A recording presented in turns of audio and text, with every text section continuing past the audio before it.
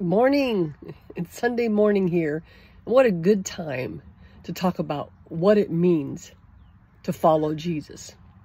Just last week, I watched The Chosen. I think it was season four, episode one, two, and three. And I can't remember which episode it was.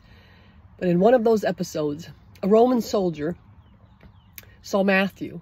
And he said to Matthew something like, what are you, what are you going to do today? And this is what Matthew said.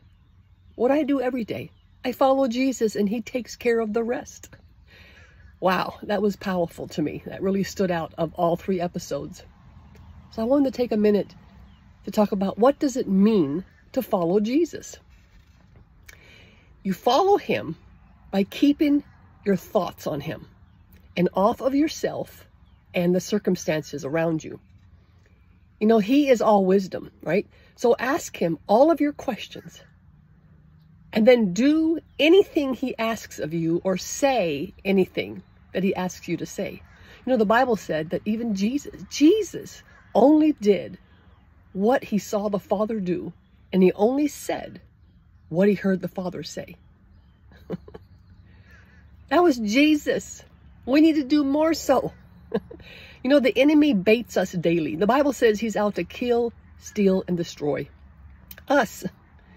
He, he, the Bible says he's, he's, he goes about like a roaring lion, seek, seeking who he can devour. You know, he, he baits us daily by putting thoughts in our minds that take our eyes off of Jesus and what he is doing to us looking at ourselves to see what we are doing. You know, Galatians 2.20 said, Galatians 2.20, the Apostle Paul says, I am crucified with Christ.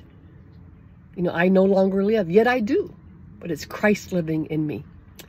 So it's no longer about us, but it is about what Jesus is doing in and through us. So keep your eyes on Jesus. Keep your mind on Jesus. That's what it is, what it means by following him.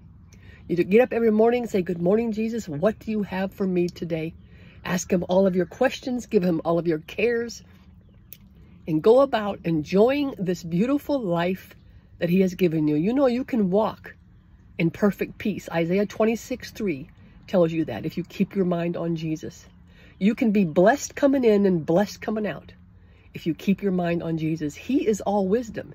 He can tell you daily where the enemy has set his traps so that you can walk around them and you don't have to fall into them. So, so make a decision today that you will follow Jesus and he'll take care of the rest.